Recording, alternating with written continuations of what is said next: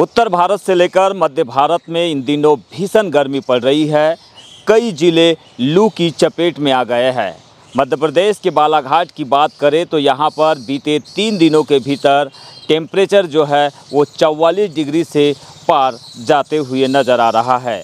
आज सोमवार को भी बालाघाट ज़िले में जो अधिकतम तापमान है, चौवालीस डिग्री से पार नज़र आया। जिसके चलते आम जनजीवन तो प्रभावित हुआ ही। साथ में वन्य जीव और पशु पक्षियों पर भी इसका व्यापक असर देखने मिल रहा है। इतनी गर्मी की अभी मैं आ रही थी तो मैंने ये देखी चमकादड़ भी, भी नीचे पड़े हुए थे। मैं वही सोची कि ये हो क्या रहा है?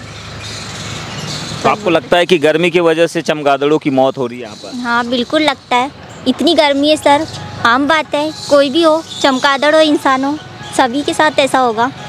आप गर्मी में कॉलेज जाते हैं आने जाने में भी कुछ परेशानी हो रही है आप लोगों को? सर बहुत परेशानी होती है। इतनी धूप लगती है कि इंसान कॉलेज जाने में भी बहुत दिक्कत हो रही है।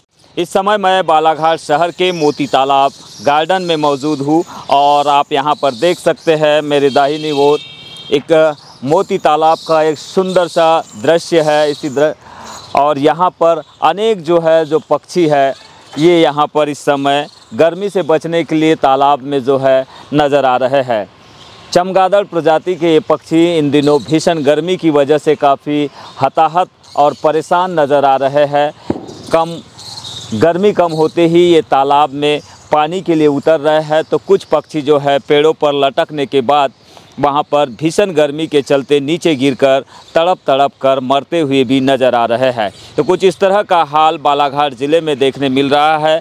लगातार यहाँ पर जो है तापमान जो है बढ़ते हुए नज़र आ रहा है और इसी के चलते नवतप्पा की भीषण गर्मी लोगों के लिए असहनीय पीड़ा का काम कर रही है। आगे हम इस पूरे मसले पर जो पशु चिकित्सक है उनसे चर्चा करेंगे और समझते हैं कि ये जो चमगादड़ पक्षी है, इनके मरने की मुख्य वजह क्या है? उन्होंने किस तरह से यहाँ पर सैंपल लिए हैं?